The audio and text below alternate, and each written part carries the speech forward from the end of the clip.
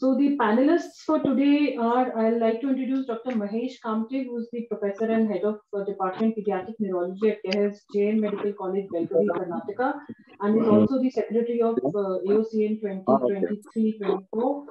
Then the next one is Dr. Ratna Puri. She's a renowned senior consultant in genetics at Sir Gangaram Hospital.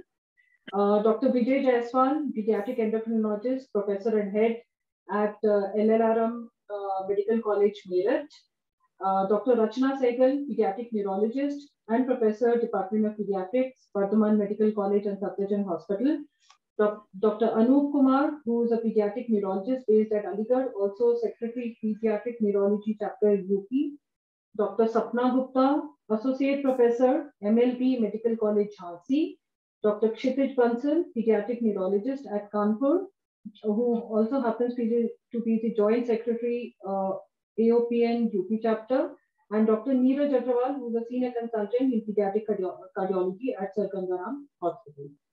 So, uh, Ajay, can you start sharing the screen? I'm sharing, ma'am. Yeah. So while uh, we will uh, we were preparing for the panel discussion, uh, James Martin uh, Okay. So uh, in the next 20 minutes or so, we'll go through the story of an extra chromosome 21. And while we were preparing for this panel discussion, James Martin uh, was already winning an Oscar on 13th of uh, March 2023 for his role in the movie An Irish Goodbye.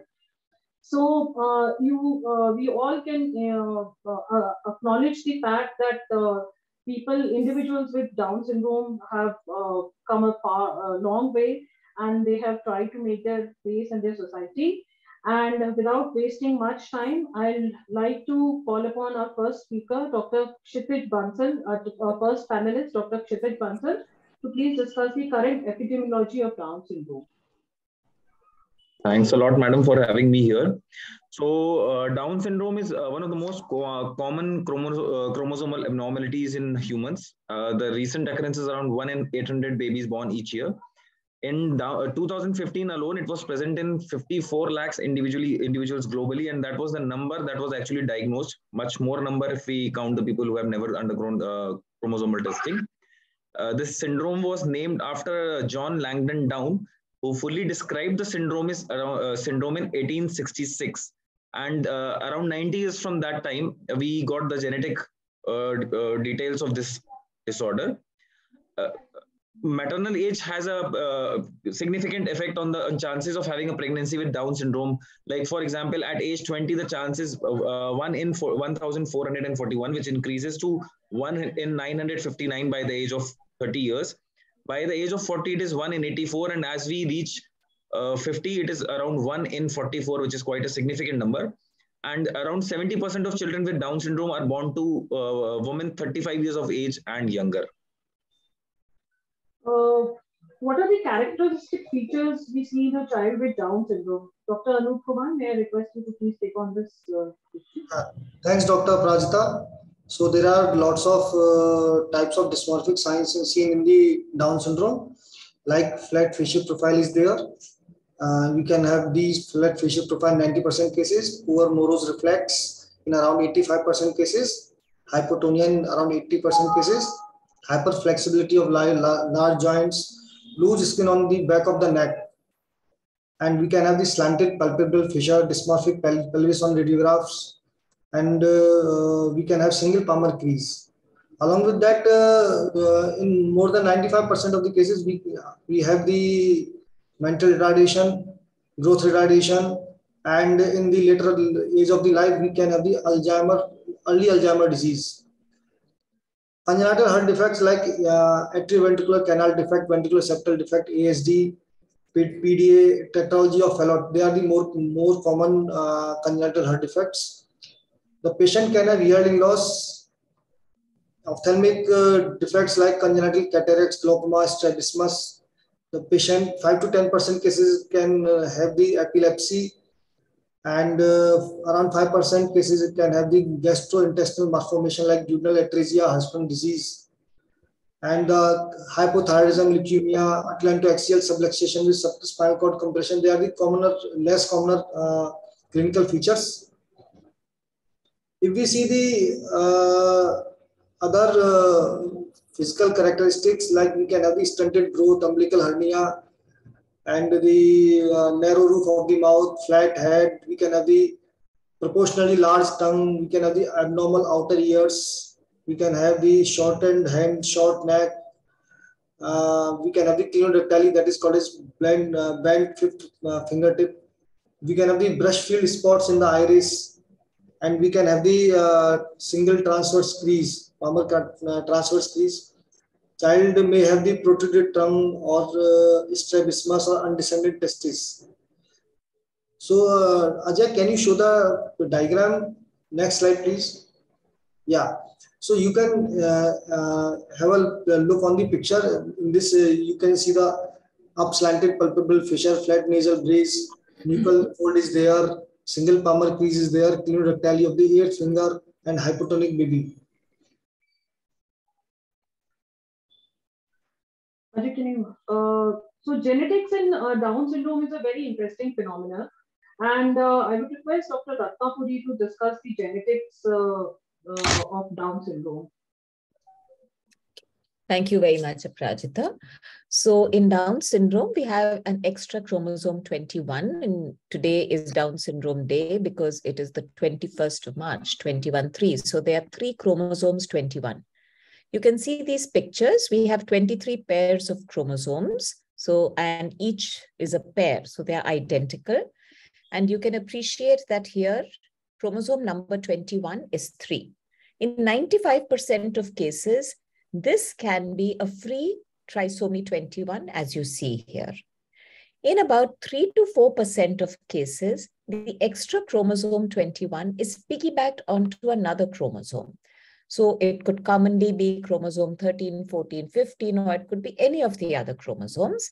And this is called a translocation Down syndrome.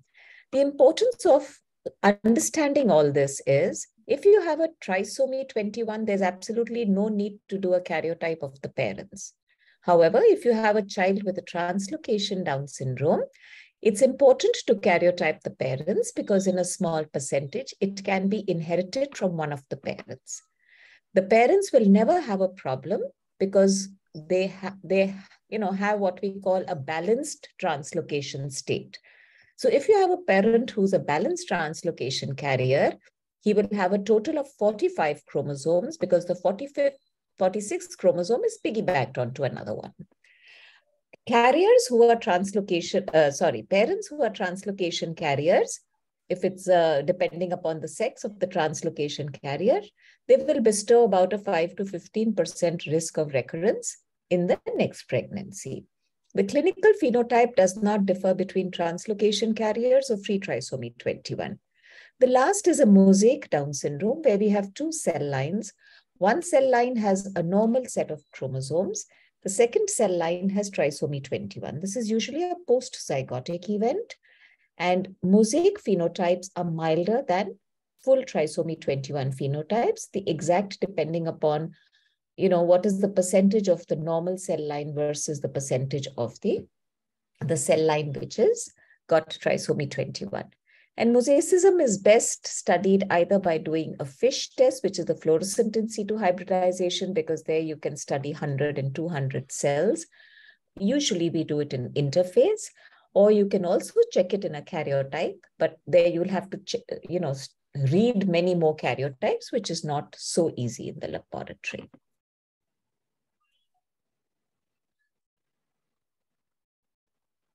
Uh, Ma'am, may I also request you to please discuss the prenatal diagnosis uh, that is uh, available to diagnose uh, Down yeah. syndrome? So I've already alluded to you that if it's a free trisomy 21 or it's a translocation, the importance is for recurrence risk. If it's a free trisomy 21, the recurrence risk is 1%. If it's a translocation uh, trisomy 21, it's 5 to 15%, depending upon the sex of the parent. And for mosaicism, there's no increased risk of recurrence. Now, we've already talked about initially that the the you know the risk of down syndrome is dependent upon the maternal age but it's important to understand that a woman at any age can have a child with down syndrome We had done a study about 10, 10 years ago to understand what is the age of you know parents who have a child with Down syndrome uh, in Gangaram, and 90% of them were young mothers because that's the bulk of the reproductive population, which is now changing. But it, it essentially means that when you're doing screening, you're screening a general population to identify a high risk population. So screening is done through the first and second trimester using ultrasound as well as biochemical markers. The ultrasound in the first trimester, you look at nuchal translucency. In the second trimester, you look at a host of soft markers that are noted here. However, just doing this on its own is not adequate. We have to, in the first trimester, look at the PAPP-A and the free beta HCG, combine it with the nuchal translucency to what we call a combined first trimester screen, which has a sensitivity of 85%. If the patient doesn't come to you in the first trimester, you do a quadruple screen in the second trimester using four biochemical markers, which is AFP. The advantage of that is it also gives you a risk for neural tube defects, which are still very common in our country unconjugated estriol inhibin and free beta HCG. And this combines together to give a screen risk. And if it is screen positive, then you can do what is called a invasive testing, which is the diagnostic test where we take a sample of amniotic fluid or the placenta to look at the chromosomes by a karyotype. The new test that has come in is the cell-free fetal DNA, we take the maternal blood after about 10 to 11 weeks of pregnancy, take out the fetal DNA from that, and use various next generation sequencing techniques to identify whether the chromosome 21 of the fetus is 3 or they are 2. It cannot determine or differentiate the other kinds. Now, there are there's a whole issue about NIPT, but I think just an introduction to the topic is adequate. But as a screening test, it is extremely good. It's got a sensitivity of 98 to 99% for Down syndrome, but it's a screening test. And any screen positive on NIPT has to be confirmed by a diagnostic test.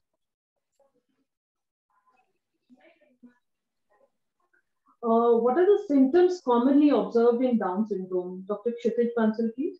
Yes. Uh, so, madam, uh, signs and symptoms most commonly the child is usually brought by with a complaint of global developmental delay, um, seen in most of the children, and then there are physical and intellectual disabilities.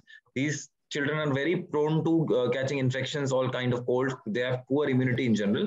Congenital heart defects like endocardial cushion defects, epilepsy, as told by Praveen sir in detail, ki the uh, incidence of epilepsy is almost twice more common in these kids than others. Leukemia, thyroid disease, autoimmune disorders, and uh, multiple and uh, psychosis is also one of the predominant symptom, uh, symptom in many of these kids. Then there are multiple physical features in uh, kids with down syndrome like a small chin or a slanted a slanting uh, slanted eye like a mongol child the poor muscle tone flat nasal bridge and a single crease of the palm and a protruding tongue due to a small mouth and relatively large tongue. Uh, because of this the common another common symptom that comes is obstructive sleep apnea they have short neck with excessive joint flexibility and extra space between big toe and second toe, which is called sandal gap. And there is abnormal pattern on the fingertips and short fingers and uh, atlantoaxial joint as discussed by Praveen sir is quite common. The instability is quite common up to 20%, which frequently leads to spinal cord injury in 1 to 2% of the cases. Now, hip dislocation may occur without trauma in up to a third of people with Down syndrome and usually they're short statured as we saw in many photos shown by Shefali ma'am. Most of the actors were short statured and there is increased risk of obesity as they age. Uh, what are the neurological manifestations in children with Down syndrome? Uh, request Dr. Rachna Sehgal ma'am to please take on this. Uh, thank you, Dr. Prajita. Actually, my job has been made much easier by a very comprehensive talk already by Dr. Praveen. But I will just summarize what are the common neurological features. Actually, the neurological features uh, can be divided into the neurological, behavioral, and psychiatric and neurovascular features. So uh, the neurologically, as we have already uh, gone so far, that the children do have global developmental delay, so they have intellectual disability, more so for the speech and language component as well as the motor component. Some of them also develop autism. Some have associated comorbidities like ADHD. The other behavioral manifestations can be depression, obsessive compulsive disorder, And sometimes we see a, even a childhood disintegrative disorders. Then epilepsy is a very, very common component which has been extensively discussed so far. And uh, later onset Alzheimer's.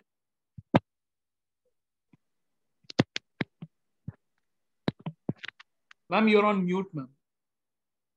Yeah, I was accidentally muted by host, I guess. So um, I think, uh, yeah, the next question can be taken up. Yeah.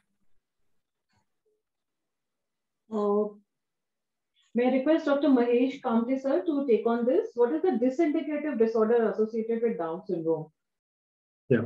Uh, this is one of the important uh, complication what is seen in uh, seen in Down syndrome uh, children, especially in uh, adolescent age group.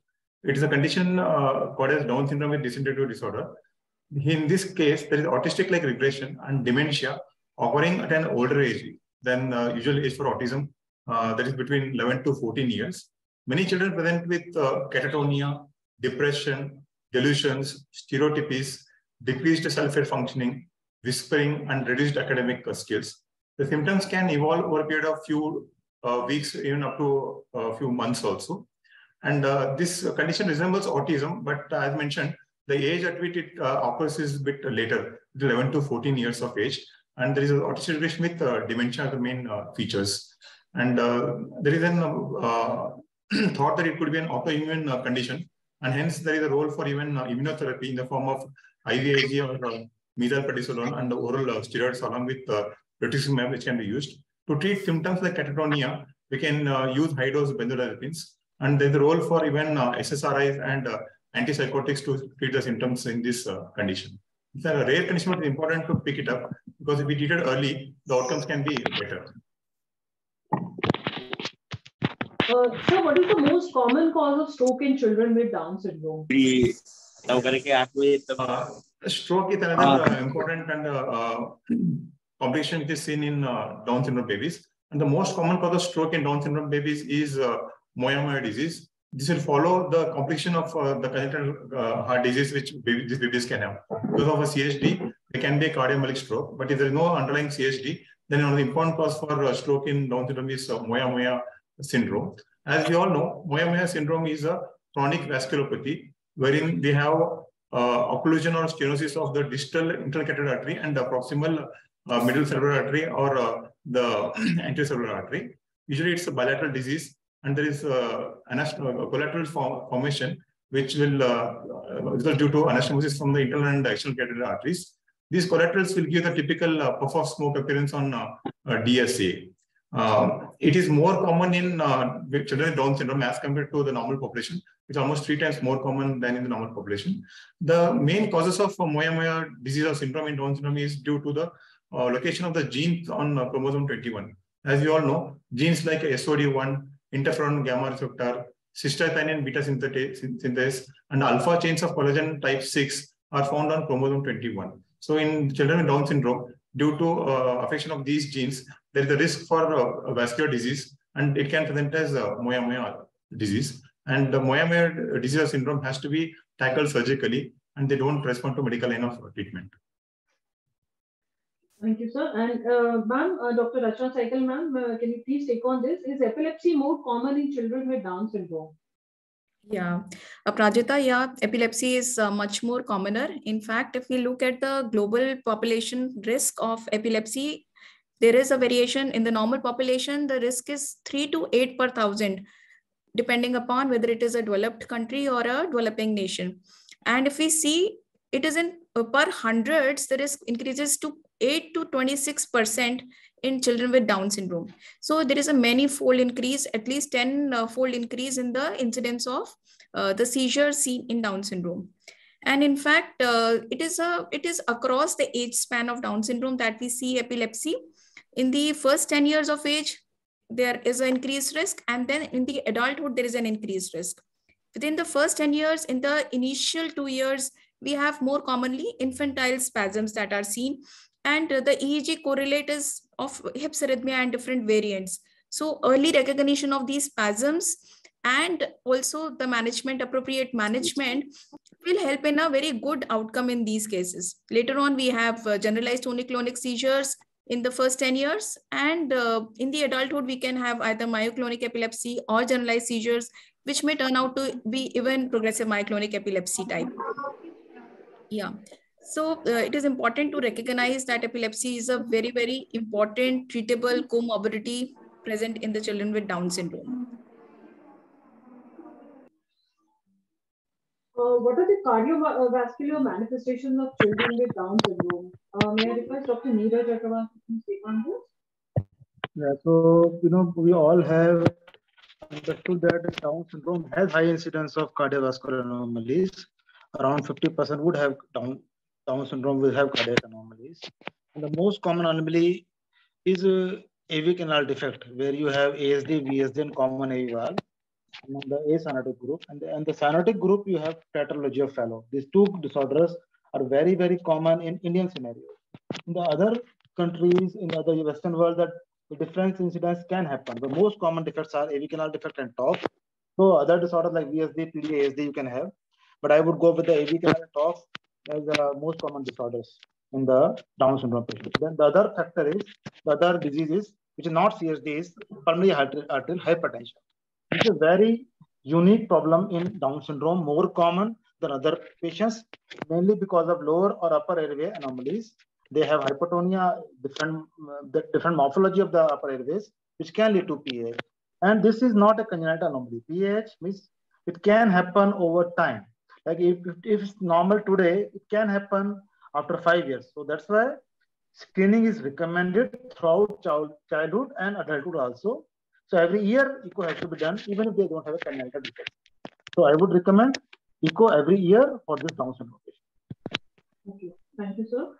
Uh, may I request Dr. Anup, uh, Anup Kumar to take on this? What are the hematological manifestations of children with Down syndrome?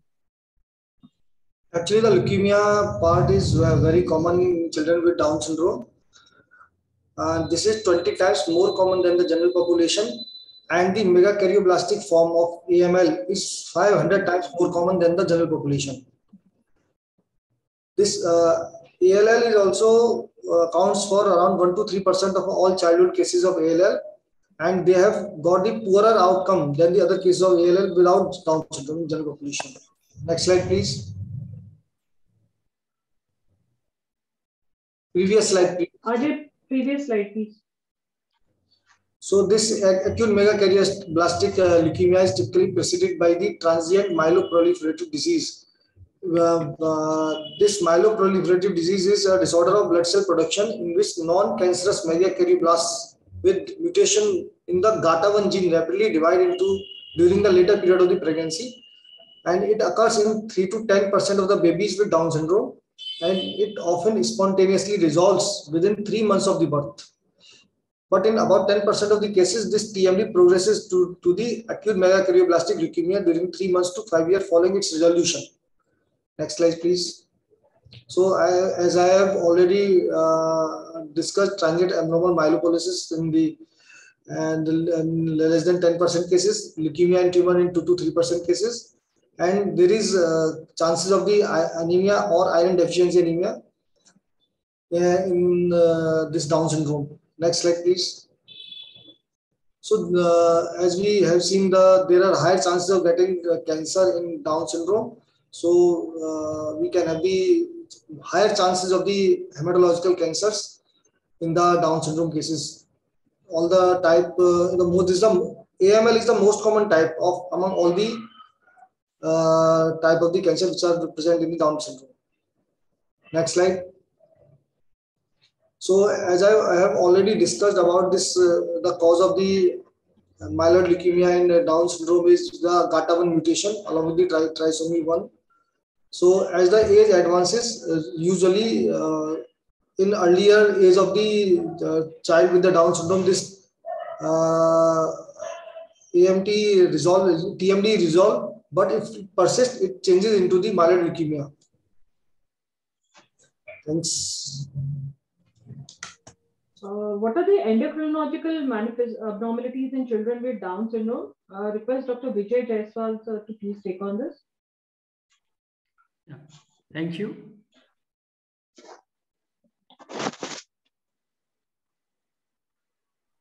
Yes. Uh, sorry for interruption. Yes, so endocrinal abnormalities are quite common in comparison to the general population in Down syndrome cases. The commonest one is thyroid uh, abnormalities and uh, the umbrella uh, symptoms can be there. That is from congenital hypothyroidism, that is about 1%, to the spectrum of hypothyroidism, that is autoimmune hypothyroidism, as well as thyrotoxicosis, that is Graves' disease can be there. So the, we should screen uh, rather on a very frequent interval. It doesn't mean that once a child has been screened for thyroid disorders at that particular year, he should be screened annually because they are at high risk for that.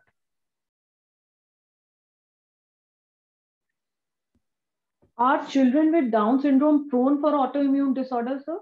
Yes, definitely. Uh, these children are quite prone for autoimmune disorders, and uh, we can emulate that uh, thyrotoxicosis, that is Hashimoto thyroiditis. Type 1 diabetes is about four to five uh, times more common in Down syndrome children. Alopecia, as well as dermatological manifestation. Celiac is a quite silent disease in uh, type uh, di diabetes the children with Down syndrome. arthritis, immune arthritis, as well as we have discussed that uh, since the commonest disorder in Down syndrome as endocrinal manifestation is thyroid disorder, so we should screen on annual basis. So that is the thing that we have to see. Uh, what are the gastrointestinal manifestations in children with Down syndrome? Dr. Sapna Gupta, please. Uh, yes, yes. Thank you, Dr. Aprajita. Uh, so as it has been seen that uh, children with Down syndromes more often suffer from gastrointestinal disorders. And among all these, constipation is the most common. It occurs in nearly half of the people with Down syndrome. And it is contributed to the fact that uh, this children with Down syndrome have low muscle tone. And secondly, maybe because of diet, inadequate food intake. And this can be uh, like taken out if they take more of fluids. But somehow they are also prone to have Hirschsprung's disease, which occurs in about 2 to 15% of the cases. And uh, then celiac disease accounts for about 7 to 20% of the cases in children with Down syndrome. Other frequent congenital problems, which includes duodenal atresia, pyloric stenosis, Meckel's diverticulum, and imperforate anus. Gastroesophageal reflux disease is also very common, we see in children with Down syndrome. Dr. Swapna, are children with Down syndrome prone to develop oral health problems? Yes, they are more prone for getting oral health problem. And uh, the periodontitis is most common. And although the etiology of the condition is not yet fully elucidated, a number of studies have shown that uh, Down syndrome is related to periodontitis because of certain factors. Like they have got immunological deficiency, then they have got poor oral hygiene, then they have fragile periodontal tissue, salivary deficiency, and poor masticatory functions, which may be contributing to all these conditions of oral cavity. So they are susceptible to gingivitis, the necrotizing ulcerative gingivitis, and early tooth loss. They have got uh, higher rates of tooth wear and bruxism are also very common. They have got enlarged hypotonic tongue, crusted and hypotonic lips, they are mouth breathers. They have got narrow palate with crowded teeth. They have got malocclusion with an underdeveloped maxilla and posterior crossbite. Also, they are prone for delayed exfoliation of the baby teeth and delayed eruption of adult teeth. Less common manifestations include cleft lip and palate and enamel hypocalcification. About 20% in the 20% of the cases. Thank you. Thank you, Dr. Sapna. Uh, how do we proceed for screening at birth in children with Down syndrome? Request Dr. Anup Kumar to take on this. Yeah. Uh, next slide, please.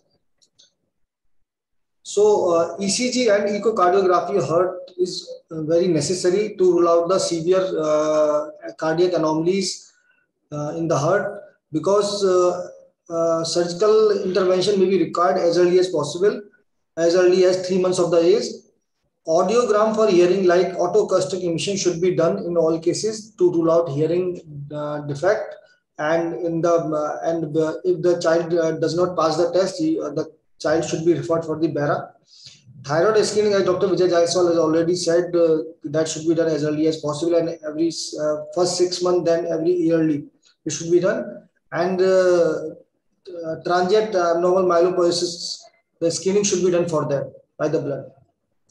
Next slide, please. So uh, this is the recommendation uh, timing of the screening.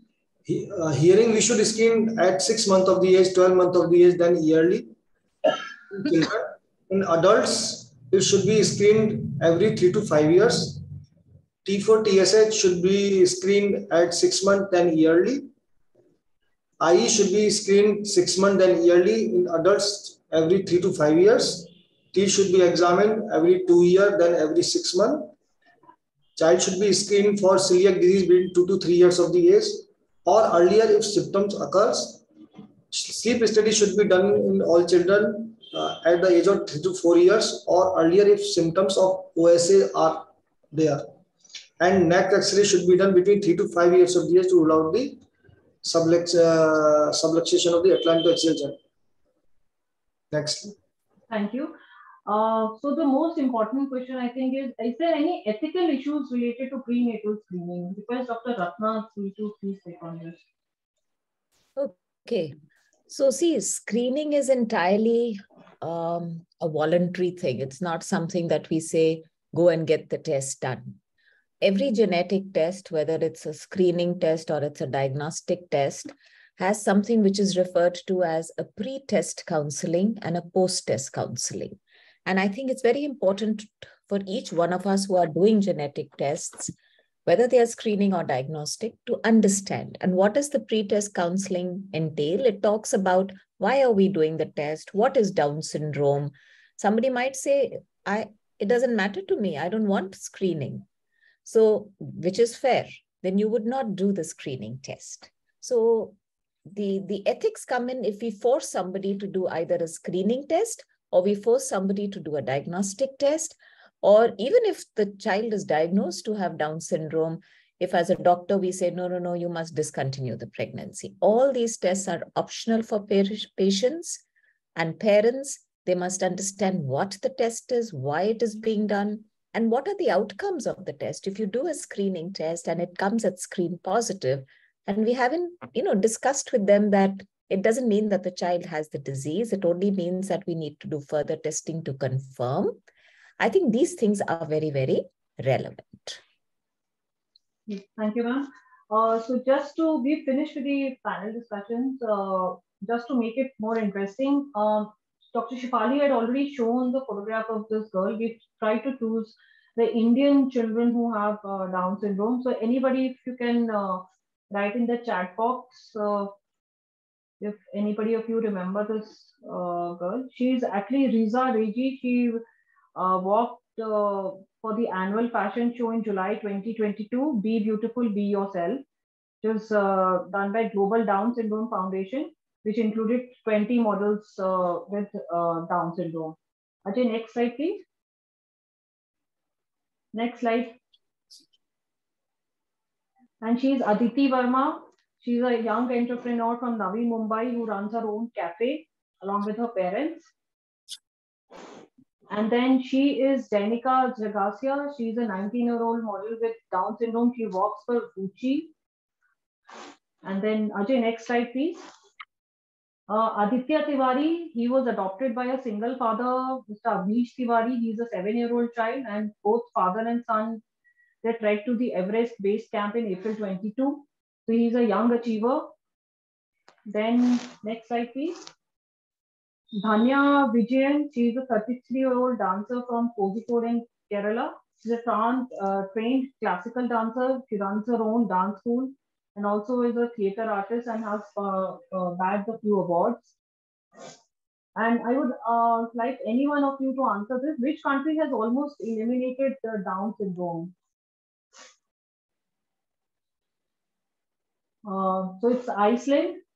So their uh, screening is almost 100% and uh, anybody who screens positive or is uh, dying, uh, prenatal diagnosis of Down syndrome is there, then 100% abortion rate abortion is done for that uh, fetus. Who is the oldest woman living with Down syndrome? So she was Frances Gillette. She was born in 1941. Although the age, uh, average age of a Down syndrome uh, individual is about 60 years, but she is uh, till un until last year she was around 75 years of age. And then there is story of Baby Doe.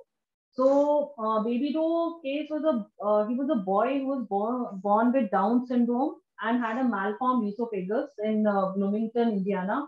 And the doctors and parents at that time, they decided to withhold surgery on his esophagus and thus starved him to death. Following this, there were a lot of repercussions. The doctor was charged with a murder charge. And then there was an amendment, uh, also known as Baby Doe Law, or Baby Doe Amendment, and in which, uh, uh, in cases like this, uh, infant, the, these kind of cases, the medical practitioner had to refer these cases to the Infant Care Review Committee uh, to advise the hospital and to alert the courts or a child protective agency. And uh, these are the dual divas of Down syndrome.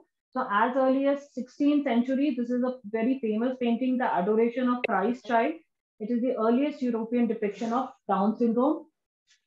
Uh, if you see the uh, child next to Mary, that child has uh, probably has Down syndrome and the individual standing in the middle, that individual also probably has Down syndrome. So these are the earliest European depictions of Down syndrome.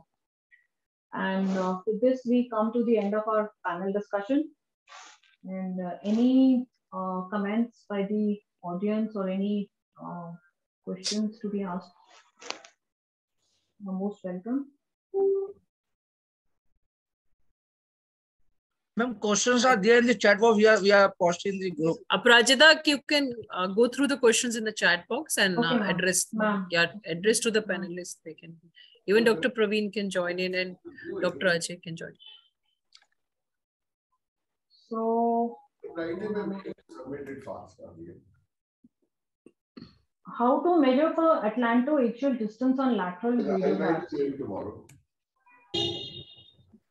Uh, request uh, Dr. Rachna or Dr. Mahesh to take on this?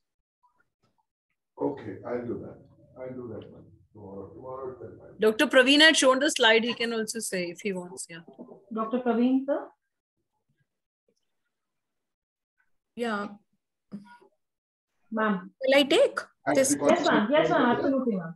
Yeah. I'll bring him up and I'll so actually, the screening for atlantoaxial uh, dislocation or uh, instability can be done through either the lateral radiographs of the skull or through the MRI.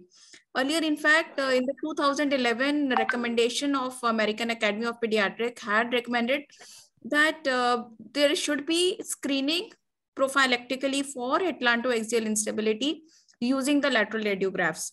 This is now coming under dispute because many cases are not picked up on radiographs. And uh, now MRI is the more uh, uh, useful modality and uh, some people even recommend that it should be done between uh, once between 5 to 10 years of age and then in the adulthood. And also if somebody is uh, planning to take up contact sports it is to be done before that. And in the lateral view if we measure the distance between the posterior margin of the atlas and the anterior margin of the uh, the uh, the axis that is the distance uh, which is to be measured for the atlantoaxial uh, this thing. And uh, it is important while doing the imaging also to not to too much extend or flex the neck. Yeah. Thank you, ma'am. So the next question is, are there any down-like states to showing minor phenotypical features and minor cognitive defects as opposed to full-blown Down syndrome? Uh, uh, may I request Dr. Ratna Puri ma'am to please take on this? Yeah, I'm just trying. Uh, what is what was the question? Are there any Downs-like states to show? Minor. All children with Down syndrome may not have the entire full-blown picture. Some phenotypes are subtle, but uh, the the the cytogenetics which can cause a milder phenotype, like I had already said, is a mosaic phenotype, which is mild. But you know, we know that everybody only 40% will have a congenital heart disease. Uh, up, up to 15 to 20% may have a behavior disorder, may have autism spectrum disorder. But as far as the facial phenotype goes, even that can change. All children do not look the same. But yes, it is a gestalt diagnosis, as we say it. But clinically, there is no difference between trisomy 21 or translocation Down syndrome. Thank you. Is there any Down syndrome community in India for educational and occupational therapy? I think Dr. Rachna has already answered that. Down Syndrome Federation of India. Uh, and then uh, Dr. Vijay Jaiswal has answered males with Down syndrome may have both Sertoli and Leydig cell dysfunction and fertility, less fertility. So I don't see any more questions in the chat box. So ma'am, uh, uh, can we conclude the panel discussion, ma'am? Shefali ma'am? One question was there. Please explain why they are are they having increased incidence of infection, low immunity. Okay, I think uh, Dr. Rachna has uh, explained it. Cellular uh, immunity and leukocyte adhesion defects. Cellular immunity is decreased in uh, children with Down syndrome. So it has already been answered. Down syndrome community for education. Yeah, everything has been answered. Ma'am, can we? Uh, yeah, yeah, thank you. Uh, Dr. Uh, Rashmi, ma'am, you want to say something? Final concluding remarks?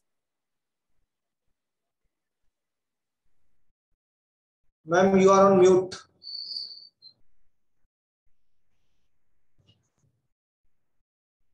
Rashmi, ma'am, you are on mute.